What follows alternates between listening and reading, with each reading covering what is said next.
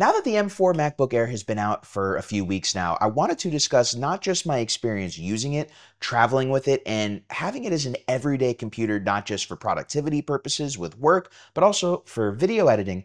I wanted to discuss my experiences using it comparative to the M1 MacBook Air as I use that machine as my everyday computer for around three years. I brought it with me on set a lot as a DIT machine. And for those of you who are new here, welcome. My name is Geoff Fagien. I'm a filmmaker and content creator. I've been doing this since 2008 for quite a while now. And the MacBook Air series of computers really opened my eyes to what can be done as far as travel computers because they let me bring a full on computer on set and let me transfer the footage from my cameras with a super small profile to an external hard drive. Now, on most sets that I'm on, we hire what's called a DIT, and one of their main jobs is to transfer the footage from cameras to hard drives while or external drives while we're doing our thing. But on a lot of smaller shoots, I don't really have the luxury of hiring a DIT. So I've used the M1 MacBook Air for a while as my computer. And then after a while, I needed the Thunderbolt 4 speeds, so I upgraded to an M3 Pro MacBook Pro. But now with the M4 MacBook Air out having Thunderbolt 4 speeds, I've decided to take another look at it. And after using it the past few weeks, I've been really excited. I'm going to be honest with you, I haven't come to any concrete conclusions, so this isn't going to be a full-on review. I'm probably not going to do one of those until I've had it for at least a month or two, but make sure to stay tuned, hit that like, subscribe, and notification bell to keep up to date with the latest videos so you see when I do come out with that video. What the M4 MacBook Air has changed for me after a few weeks has honestly surprised me. For what I originally purchased for small, light work, has completely shifted the way that I travel, pack laptops with me on a daily basis, and work on the go. This is the $999 base model version of the M4 MacBook Air with a cool little cover on it that makes it a lot more rugged when I'm traveling.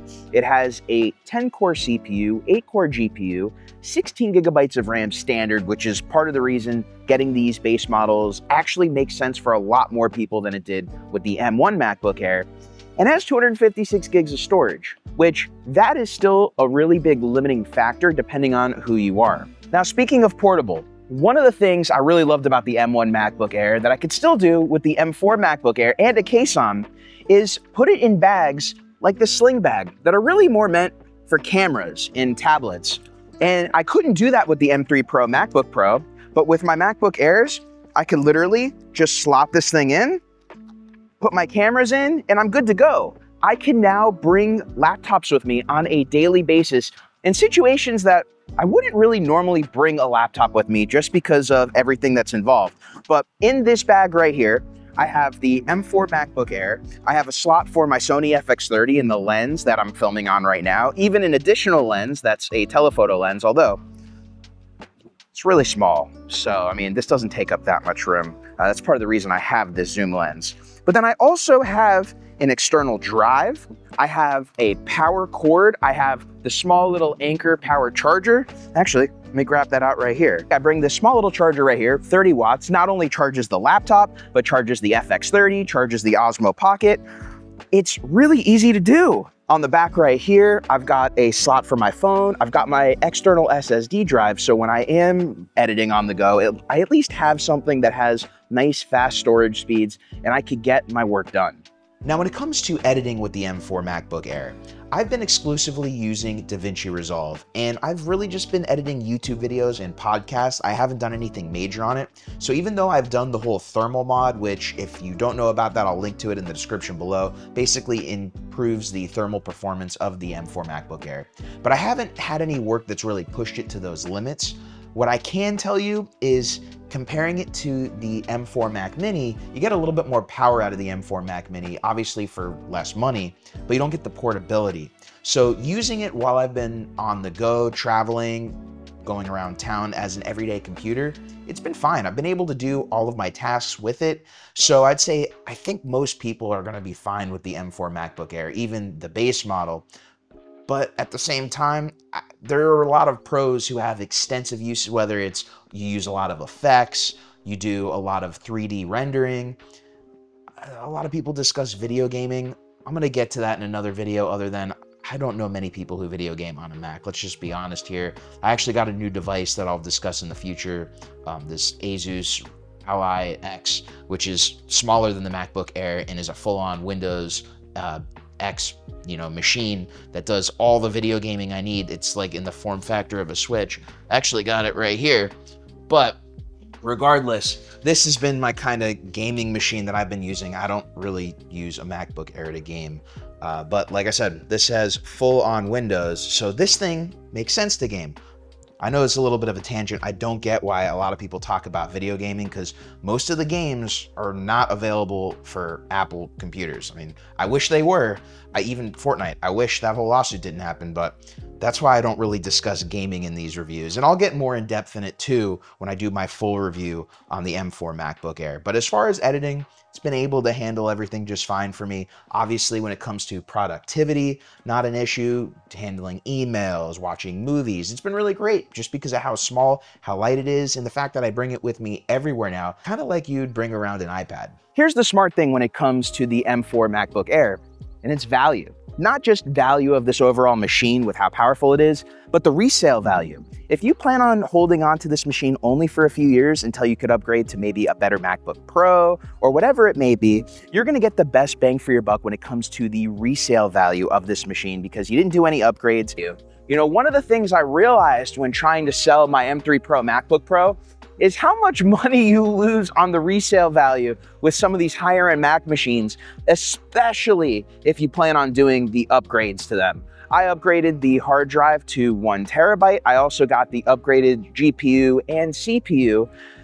And I'm gonna lose over a $1,000 trying to sell that machine used, which is why I'm probably not going to at this point where even with my M1 MacBook Air, after over four years, I can get $600 for that machine, and I only paid $900 for that back in late 2020, which is pretty insane. And it's the same value proposition for any of the lower end Macs. When you get some of the base model computers from Apple, they tend to lose the least amount of resale value and the more you add to them, whether it's RAM, hard drive, whatever it may be, you typically don't get that back. So the resale value with these cheaper Macs, it makes a lot of sense to get them if you only plan on holding on to these computers for maybe a year or two and then planning on reselling them afterwards. So here we have the M1 MacBook Air sitting right next to the M4 MacBook Air. Now I used the M1 MacBook Air for just over three years as my main traveling computer. I used it to not only edit videos while on the go, but to watch videos, to do productivity like emails, surf the web, all that kind of stuff. And then after a few years, it just kind of got long in the tooth. The 8 gigabytes of RAM was super limiting, which we'll go over later on in today's video. But let's talk about the differences in specs between both of these computers. Now, the M1 MacBook Air has an 8-core CPU and a 7-core GPU, while the M4 MacBook Air has a 10-core CPU and 8-core GPU. So right off the bat, you can tell a huge upgrade for the M4 MacBook Air without even knowing the specs of each of the cores, which are obviously going to be better on the M4.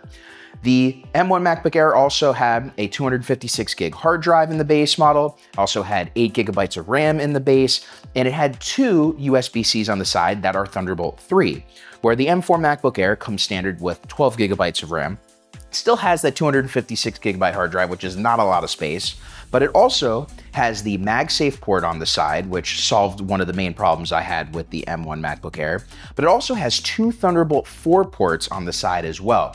Now, that was a huge deal for me because I was using the M1 MacBook Air on gigs as a DIT computer, meaning we were using it to take all the footage off of my cameras while on set and transfer it to external drives.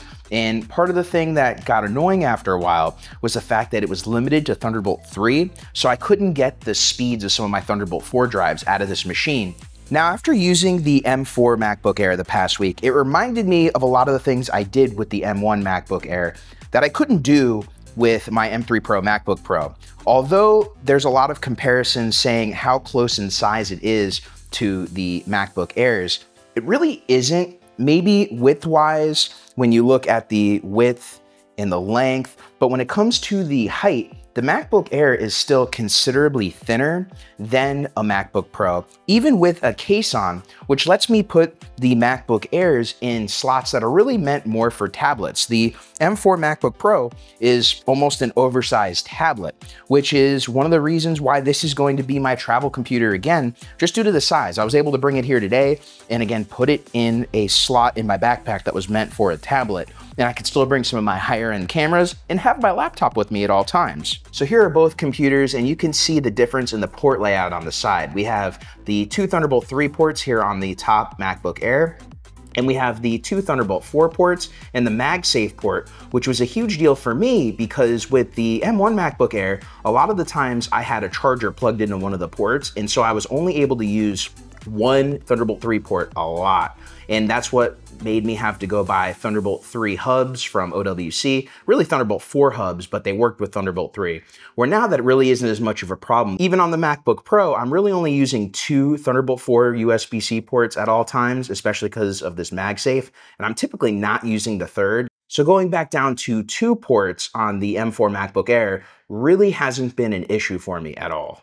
Then on the other side, you can see right here, they both just have the single headphone jack. And then let's talk about thickness. So it looks like on first glance that the M4 MacBook Air is thicker than the M1 MacBook Air, but really they're about the same. The difference is that on the M1, it kind of is thinner at the edges and then gets to be about the same thickness when you get past the edges as the M4 MacBook Air but the M4 MacBook Air just holds the same thickness the entire time. So between the thinness, the weight, it's just what makes me want to use the M4 MacBook Air over my M3 Pro MacBook Pro just because of its size. And I can use it as an everyday travel computer and bring it with me a lot more than I was bringing my MacBook Pro. So now we're here in Parkland, Florida, and I brought my whole bag with me. This is my everyday travel sling. It's really meant more for camera gear and tablets, but as you can see right here, it actually fits the M4 MacBook Air no problem.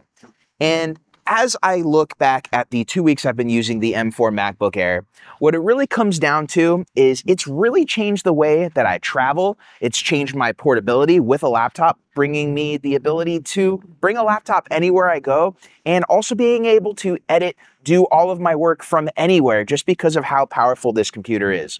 And then, of course, the value for $999, you really can't go wrong. This is the best value laptop in Apple's lineup. So if you have any questions, please let me know in the comments below. And if you got knowledge and value out of today's video, make sure to hit that like, subscribe, and notification bell to keep up to date with the latest videos on the channel. And until next time, my name is Geoff Fagien. Thank you for joining me as always, and I will catch you in the next video.